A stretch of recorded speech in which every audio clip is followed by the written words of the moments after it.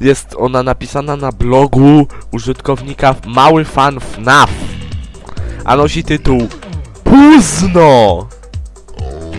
Jesteście na to gotowi? Przeczytać wam?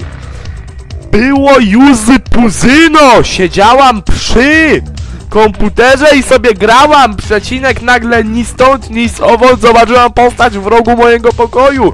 Miał białą bluzę zaciąć nasiąkniętą krwią, czarne spodnie trapki i włosy skórę miał białą jak ściana, błękitne oczy, które były otoczone czernią oraz wielki wycięty wieczny uśmiech w ręku trzymał nóż kuchenny przecinek!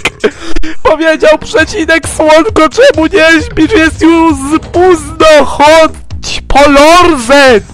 Cie spać! Wtedy zaczęłam uciekać! A on znowu powiedział, a, a, rozumiem, chcesz się pobawić trochę! No dobrze, pobawmy się w chowanego, chyba w chujanego. Ja szukam, liczę 10.9.8.7.6.5.4.1. Kurwa, schowana czy nie szukam cie...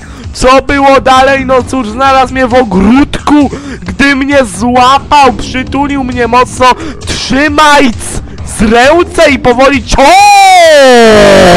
Gardło nożem mówiąc, idź już spać.